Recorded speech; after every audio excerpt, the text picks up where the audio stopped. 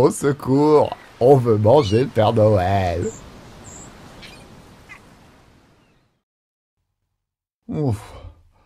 Salut, je m'appelle Lucien. Je suis le chien le plus intelligent du monde. Je dirais même le plus intelligent de la Terre. En fait, euh, je suis le chien du Père Noël. Il est trop fort, le Père Noël.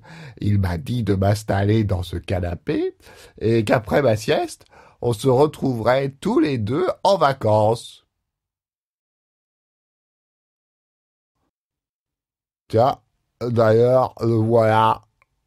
Ah, quoi? On est arrivé? Euh, Déjà?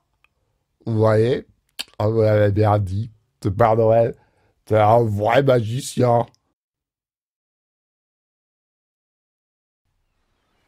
Ah, Père Noël, elle est toujours super trop bien habillé.